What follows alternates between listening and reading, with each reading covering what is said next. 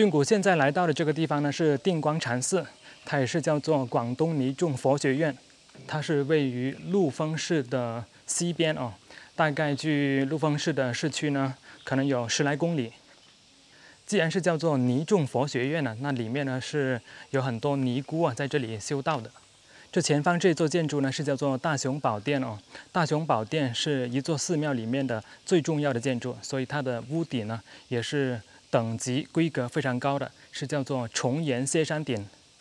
这座定光禅寺啊，不是我第一次过来了，我第一次过来呢是在读初中的时候啊，那个时候我来到这里呢，就感觉到这个寺庙啊非常大。可以说是非常的震撼。为什么我第一次过来这边会感觉到非常的震撼呢？其实主要原因呢有两个哦。第一个呢就是它的规模特别大，然后第二个呢就是它的配置啊非常的高规格哦。因为在当时呢我就看到这个尼众佛学院里面呢呃有一些房间里面是放着一整排的桌子哦，然后桌子上面呢是有一整排的手提电脑哦。所以说是非常的现代化的。虽然说这个寺庙会保留着比较多传统的文化嘛，但是呢，它的办公和管理啊也是与时俱进的。现在我要沿着这个台阶呢，直接上到最顶端来去看一下。可以看到，在这边呢有好几栋房子呢都是新盖的，并且这些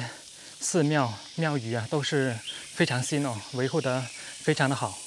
刚刚我在进来的时候呢，就看到有好几位尼姑，而且是非常年轻哦。这座定光禅寺啊，它是在明崇祯四年的时候开始建的，到现在呢，已经将近有四百年的历史了。它在过去啊，并不是叫做定光禅寺，而是叫做青云寺，因为这座山呢，就是叫做青云山。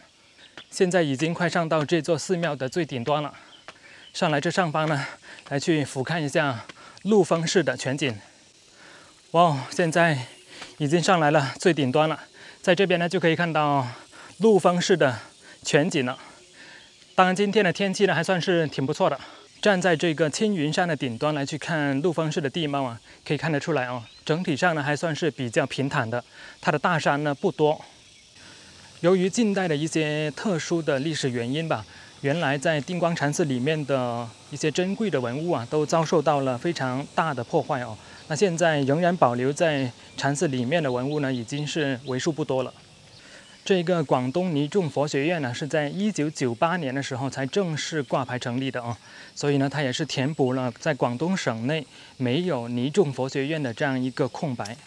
OK，这边就是定光禅寺，我是一游记的俊谷，我们下次再见，拜拜。